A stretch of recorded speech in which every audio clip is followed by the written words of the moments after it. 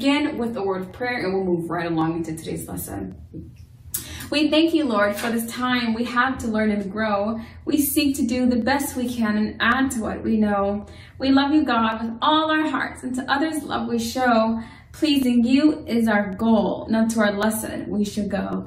In Jesus' name, amen. All right, hello boys and girls. Welcome to HeroesMart Homeschool Academy. My name is Mr. Lan.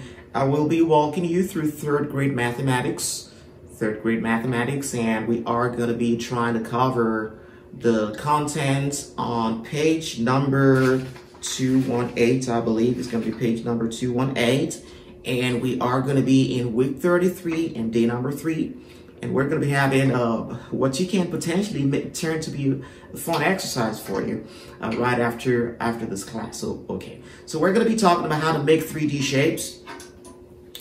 So yesterday and two days ago, we started talking about three-dimensional shapes. You learn about a cube, a cuboid, a cone, and cylinder, and all those kind of shapes. But how do we make this 3D shape? Okay, these 3D shapes, okay, making 3D shapes, okay, 3D shapes. How are they made, okay? So there is uh, something on page 218 that uh, we call a net, okay, so that's a net. So a net is gonna be like something you can cut out.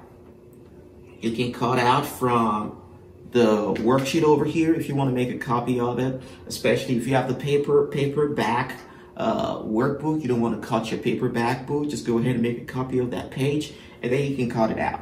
So we call it a net. So a net is like a 3D shape that's been opened up for you.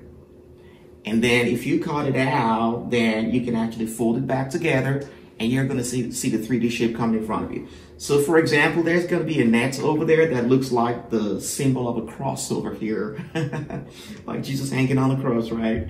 And he has six sides to it. So there's one, two, three. I believe there's going to be another one here. There's four. There's five. And there is six. And all these are just potential faces of that object. And when you cut it out, I believe you're going to get a cube. Okay, you're going to get a cube. So when you trace this out and you cut it from your paper and you fold it together, you're going to have a cube. Well, that's the net of a cube, right? That's the net of a cube. Now, what about this net? So there's another net that looks like this here that you can easily cut out. uh, this is has one face over here, has a second face over there. Well, if you cut this out, you are going to have a cone, okay? That's going to form a cone for you. All right, so you, you can go ahead and cut that out. That's going to form, form a cone for you. All right, so there are additional nets on page 218. So please go ahead and try to have some fun with that and, and ask your mom to help you or, or, your daddy to help you. Go ahead and make a copy of that page and then you can cut it out. And your mom is going to guide you through how to use the scissors just to cut that out a little bit. You can fold it together and tape it together and you're going to have 3D shapes that you learned yesterday. Okay, good stuff.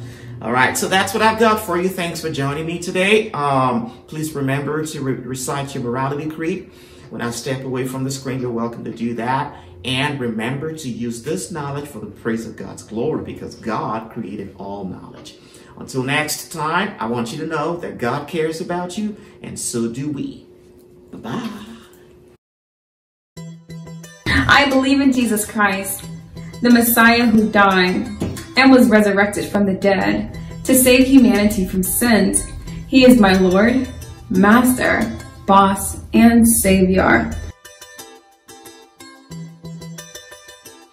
I love God.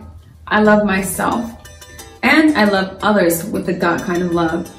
I believe the Bible is inspired by the Spirit of God and is the basis for morality, rights, and wrongs. I look to the Spirit of God to understand God's intent behind every letter of the Bible.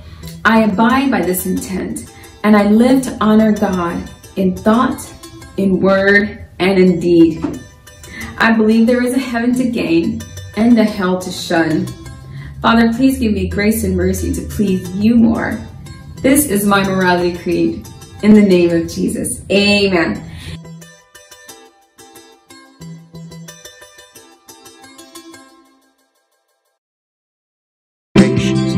I'll be your hero's buddy, and as you study with HeroesMart,